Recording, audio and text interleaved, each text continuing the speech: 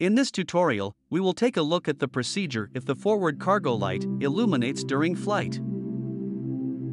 Procedures shown may not be current or airline specific. Do not use for real-life flying. We are flying at 36,000 feet when the master caution light illuminates. The pilot flying immediately states, My aircraft. The issue is shown on the first officer's annunciator panel, with the illuminated word doors. The purpose of the annunciator panel is to alert the pilots to issues out of their field of view, in this case, the illuminated forward cargo door light on the overhead panel. A look at the doors panel shows the forward cargo light is illuminated. The pilot flying therefore calls for the Forward cargo checklist. The master caution light can now be pressed to extinguish the light. After checking the QRC, if applicable, the pilot monitoring finds the procedure in the Quick Reference Handbook or QRH. The procedure does not appear under C for cargo door, so where can it then be found? It is listed under F using exactly the terminology of the light, forward cargo. The pilot monitoring reads the procedure title as well as the condition it's for. Cargo door checklist. Condition One or more cargo doors are not closed and secure. Do you agree? Once the pilot flying agrees, the checklist is followed. The checklist starts with a conditional question, depending on whether the pressurization is normal or not normal. A look at the cabin altitude panel shows the pressurization is normal. Returning to the checklist, we choose the path for normal pressurization, which states to continue normal operation. The four black boxes underneath indicate that in this situation, a door light illuminated, with normal pressurization, the checklist is complete.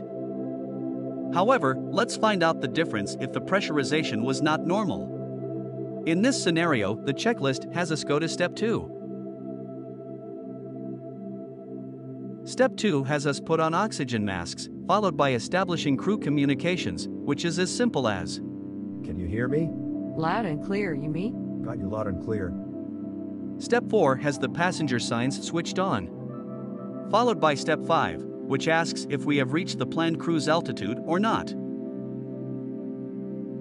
We are at our planned cruise altitude of 36,000 feet, so choose the second condition path of the question, which has us go to Step 6. Step 6 directs us to set the landing altitude indicator to 9,000 feet.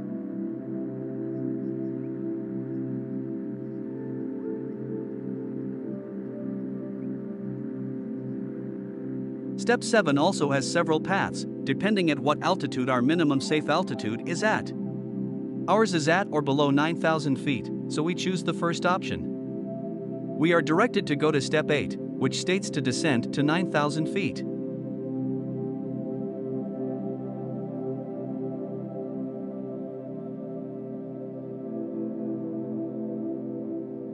Step 9 has us maintain a cabin differential pressure of 0 psi by limiting flight altitude to 9,000 feet. We then are directed to Step 15. Step 15 has us plan to land at the nearest suitable airport. That brings up an interesting point what is a suitable airport? Factors include weather, available approaches, length of runway, emergency equipment, among many other considerations. It may turn out that the destination is the nearest suitable airport, despite other airports closer by. Finally, step 16 informs us the oxygen masks may be removed at or below 10,000 feet. The four black boxes underneath indicate the checklist has been completed. Please subscribe to learn of our future videos. Thank you.